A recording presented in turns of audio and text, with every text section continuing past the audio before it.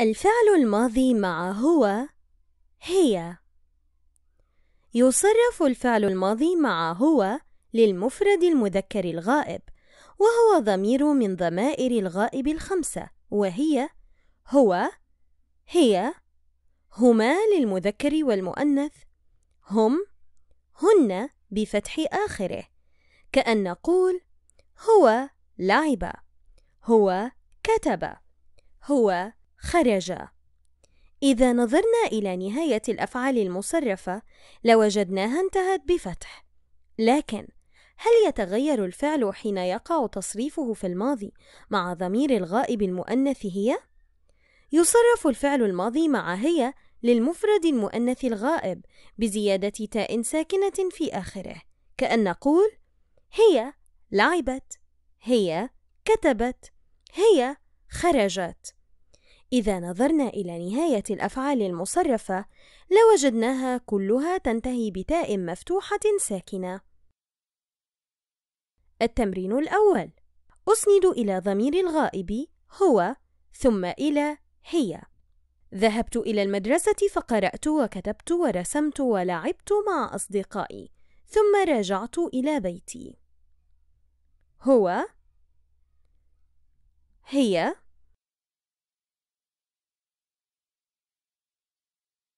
الإجابة. ذهبت إلى المدرسة فقرأت وكتبت ورسمت ولعبت مع أصدقائي ثم رجعت إلى بيتي.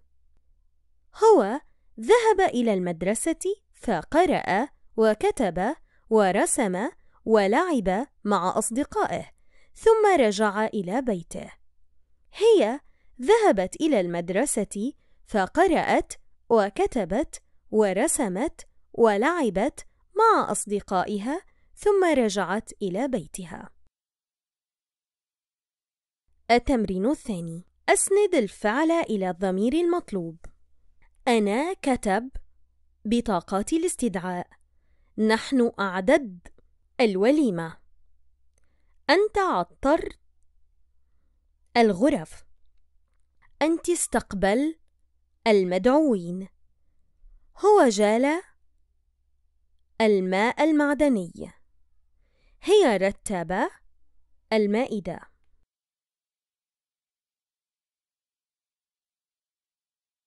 الإجابة أنا كتبت بطاقات الاستدعاء.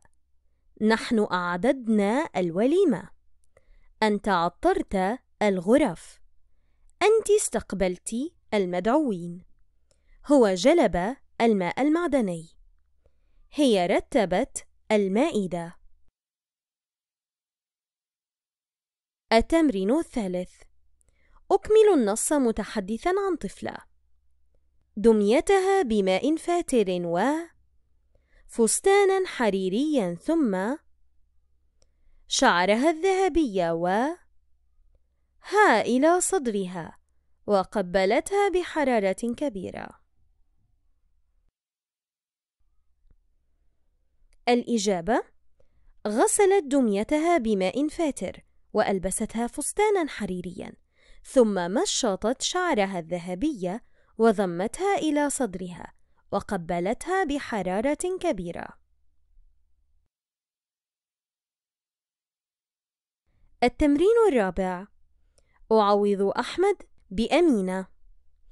تناول أحمد ورقة ملونة وطواها عدة مرات فتحصل على قارب ورقي ألصق فيه الولد عودا يحمل علم تونس وأسرع إلى النهر المجاور ووضعه على سطح الماء فسار القارب رويدا رويدا.